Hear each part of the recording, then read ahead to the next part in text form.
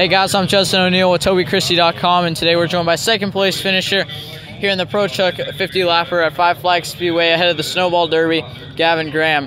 Man, that was a hard race there at the end. I know you guys had to sit under caution, or I mean red flag, forever. It was intense. Uh, I'm glad you guys got that sorted out, but man, once that thing got going back, uh, you guys and ended up finishing second after a hard-fought battle with Casey. Can you just talk to us about that last restart?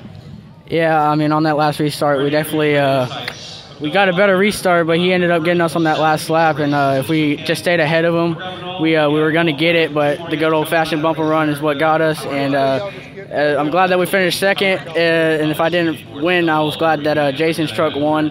That's Casey driving because Jason helped me out through a lot of things back when I was younger. And I'm just glad to see that truck in victory lane. Yeah, after that scary incident with your teammate there, glad we could get things back going. He was all right. Um, but you know that was very intense there at the end. It was fun to watch. So thanks for talking to us. A nice run tonight. You know would have liked to see you in victory lane, but you know you, you you got there plenty of times this year. So nice job again tonight, and thank you guys for watching.